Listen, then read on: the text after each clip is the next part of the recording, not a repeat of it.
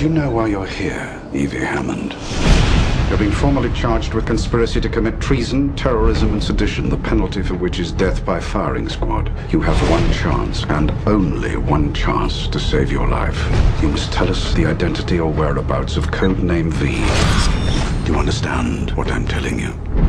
Yes. Are you ready to cooperate?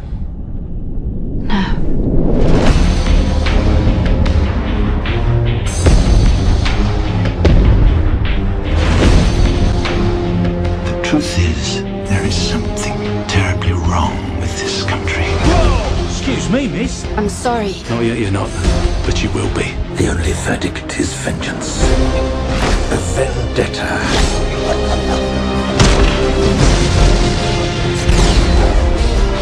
If our own government was responsible for the deaths of a hundred thousand people, would you really want to know?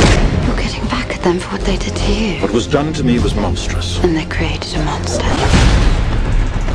Fear became the ultimate tool of this government. I want this country to realize that we stand on the edge of oblivion. I want everyone to remember why they need us. I wish I wasn't afraid all the time. People should not be afraid of their government.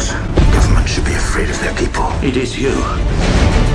Several prominent party members have been murdered, Chief Inspector. This is exactly what he wants. What? Chaos.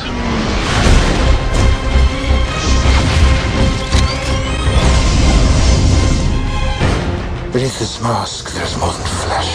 There is an idea, Mr. Creedy, and ideas are bulletproof.